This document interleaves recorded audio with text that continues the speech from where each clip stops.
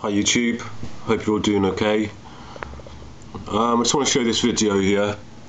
But basically, um, when did NASA go up there? It was on the it was the eighth. Uh, they left for their mission, wasn't it? It was meant to be first of all 12 day mission, and then they decided to make it 13 day mission. Uh, I haven't heard anything on the contrary since, anyway. But now they're releasing news that the, the shuttle is actually undocking tomorrow. So that's really strange. Um, something happened to me this morning when I woke up. I woke up at 6 6 a.m. and I was just having information poured into my mind. The Holy Spirit was just showing me so much stuff. I had to get out of bed and just start writing. Um, I'm going to be releasing and letting you know about all this later. So if I was you, I'd get a pen and paper with you because I might just have to dump this information on you.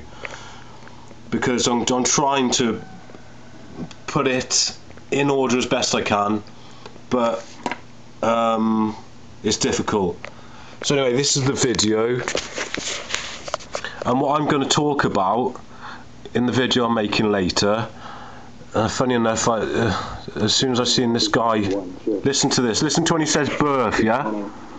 Well, the crew is continuing to have a fantastic time on orbit. Uh, today we have finished packing of the MPLM.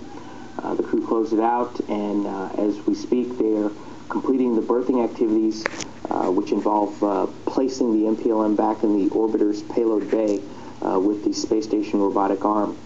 what's ahead of the crew for the rest of the day is to finish mid-deck transfer. They have about another hour to hour and a half of mid-deck transfer uh, to complete. And then they'll be uh, egressing the International Space Station, uh, closing hatches, uh, saying their farewells to the uh, station crew, and uh, preparing to do the checkout of their rendezvous tools, which will be used for tomorrow's undocking and fly around. On the plane tomorrow. Okay, undocking tomorrow. I can't upload this full video, it's, it's 24 minutes long, so I'm just going to upload this and I'll put the link down in the description for you, okay guys? So that's it for now. God bless you.